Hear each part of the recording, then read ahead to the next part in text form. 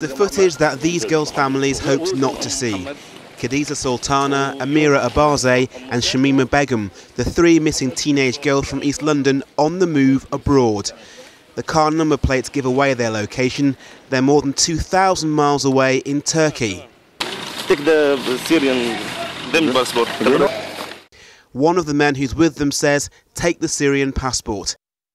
Wearing coats ordinarily they may have worn to school, with their handbags over their forearms filled with luggage, the girls were led away. The footage was broadcast in Turkey today for the first time following the arrest of a foreign spy there. The Turkish authorities allege he helped the girls on their way to Syria. They haven't revealed which country he's from. Experts here aren't surprised the girls managed to get help. These girls, before they left, will have been in contact with other people in Syria who will have facilitated their arrival there, who will have given them names and addresses of people to go to, phone numbers of who to ring, uh, and it, it's the, the logistical advice that comes with being in contact with people already there that will have helped them get there.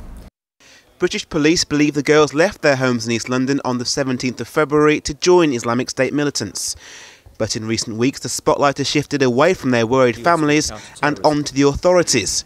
The question could they have done more to stop the girls from leaving? It's a terrible situation they find themselves in. Sir Bernard Hogan Howe from the Metropolitan Police apologised that a letter intended for the girls' families asking for them to be interviewed wasn't handed over.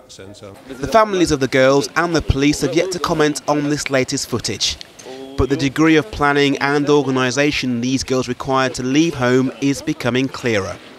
Warren Nettleford, 5 News.